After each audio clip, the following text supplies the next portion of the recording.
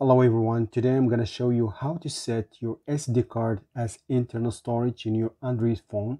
So before I show you how to use an SD card in your phone, so what I do, I always use a card reader like this one.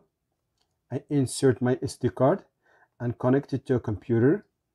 That way you can transfer all of your files to your computer or to an external drive because we are going to format the SD card. Use a tool or a paper clip to remove the tray.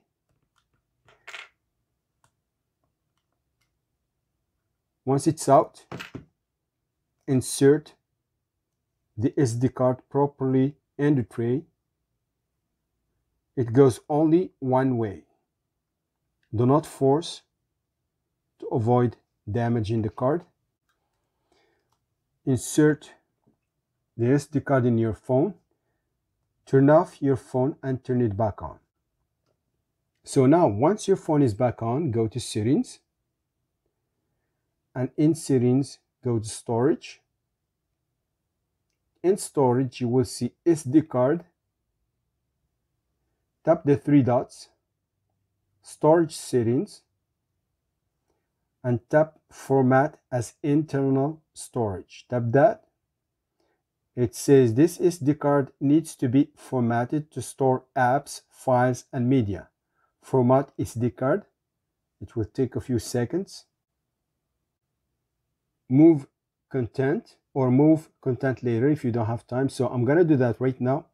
Move content. Tap that.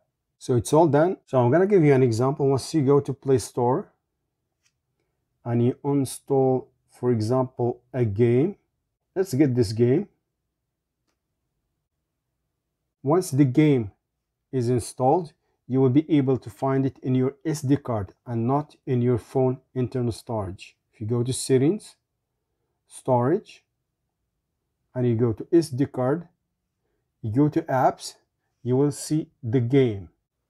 So that's it guys. That's what I wanted to share with you today. Quickly don't forget to subscribe and see you in the next video.